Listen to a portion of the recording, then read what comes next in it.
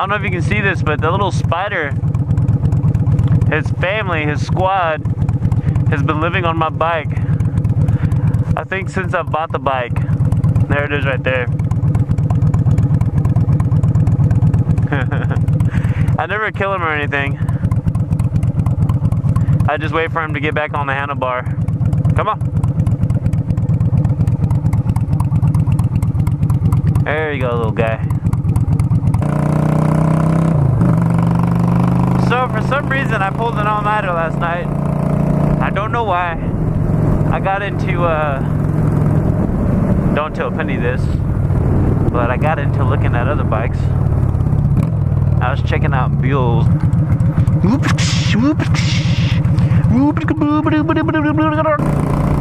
So I guess we'll theme this. Was that a voice crack? So I got we got Alanis Morissette. so I guess we will base this theme around uh, the job that I have now and the jobs I've had previously. Uh, I'm a server. I've been a server for about three years. Um, it's cool. It's a nice little gig for somebody in their, you know, early to mid to late 20s.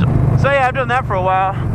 I was at the Fort Worth Zoo for a long time. Um, former lead supervisor of the monkey breeding. We had a program that we had up there. Uh, basically, my job was to measure the males and set them up with the correct depth females. Uh, just so that they had, you know, both parties had a decent time. And it was more strictly business. Like if they weren't done within 10 seconds, I had to give them a warning and or remove the male. And uh, if you've ever tried to remove a male monkey, uh, it's, it's pretty tough. It's a very tough job, but uh, I really enjoyed it tell you the truth on what happened with some of that, um, I started accepting bribes. Um, the bigger monkeys wanted to get hooked up with the smaller monkeys. Um, and I, so I started to accept the bribes. I mean, they were good bribes, things that the monkeys found um, during the uh, Halloween time. A lot of the kids would throw Twix bars and Reese's bars. I got bribed with, you know, candy bars. Uh, for the most part, the general currency was bananas they would leave me a cage number on a piece of paper and a pack of bananas. And you know just off the books I would set them up the bigger monkeys with the smaller monkeys. I realized that I made a mistake. Uh, because the smaller monkeys weren't pleasuring the deeper monkeys while the big monkeys were just ransacking the smaller monkeys. And uh, they were taking a long time to mate so you have bored, female monkeys, um, sad small monkeys, big monkeys whose egos were getting even bigger, and these poor little monkeys that were getting ransacked. What what led on with pimping monkeys soon came to uh, gorilla cage fighting uh, about the same rule applied. One banana um, was equivalent to about eight cents, and I would I was kind of the uh, the ringmaster when it came to um, condoning the fight. Who was fighting? It was a pretty crazy setup we had actually. Um, we put rice paper on a couple of the fences and uh, people could hear. Oh boy, they could hear, but you know, it's a zoo. Uh, basically, what happened is I actually started to film, World Star got a hold of it because, you know, out of instinct, I just started screaming World Star. And uh, some of the monkeys started mimicking. So, um, you know, people would want to see the monkey exhibit, and there would be two monkeys, uh, which were actually the lookouts. So they weren't entertaining the crowd because they were standing here with uh, two paper towel rolls taped to each other looking out. And on top of that, we have a whole bunch of baboons, uh, gorillas, spider monkeys, screaming uh, World Star behind rice paper. So uh, they started to investigate on me. At the end of the investigation, the bust, they found $62,000 worth of bananas in a trailer. Um, Now that's a lot of bananas considering they're about 52 cents a pound. There's concentrated bananas, sun-dried bananas, Filipino baby bananas, aged bananas. I don't know how they did that, but there were bananas that got you high, there were bananas that got you drunk, and they're all labeled and packaged. They even had little crystal bananas. Those are dangerous because if you eat one little crystal banana and you get the potassium of four bananas, you could run a marathon without catching a cramp. So I basically got caught. A couple of the monkeys, I don't know who the monkeys were, they uh, they snitched on me. And so uh, I was demoted, but I mean, that gig was pretty cool, I guess. My job, in layman terms, was to uh, break up the fights. I had a post in the center, centermost part of the uh, of the zoo.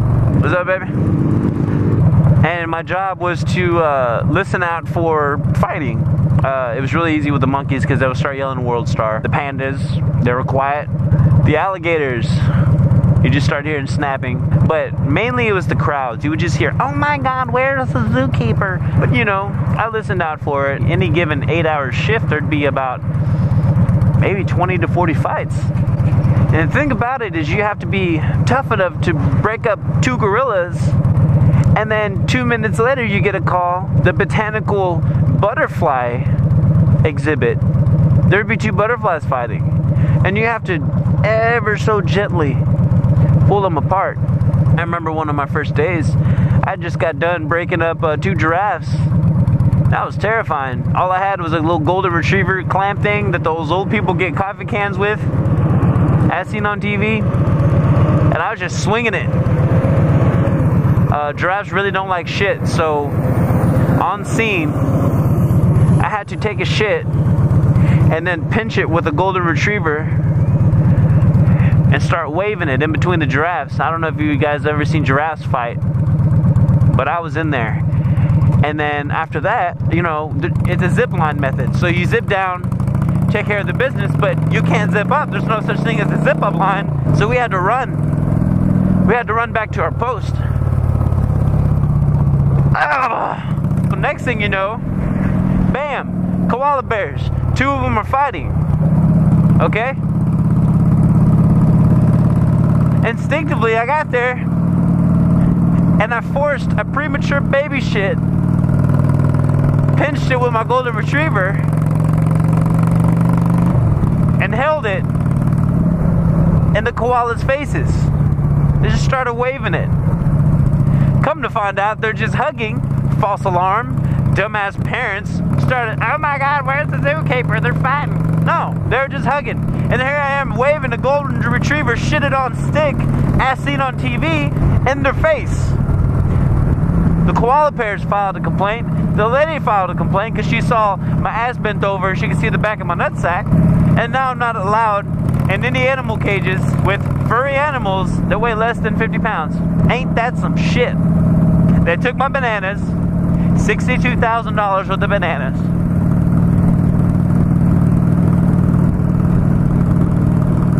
So yeah, that was that. Alrighty guys, well it's gonna be a long day. I'm on for a double and I didn't sleep last night. So, see you guys on the flip side.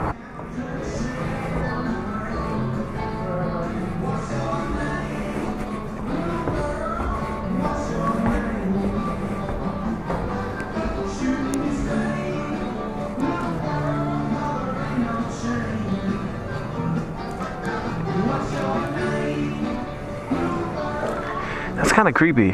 What's your name? Little girl. All right. Yeah. You can't. You can't. You can't see this.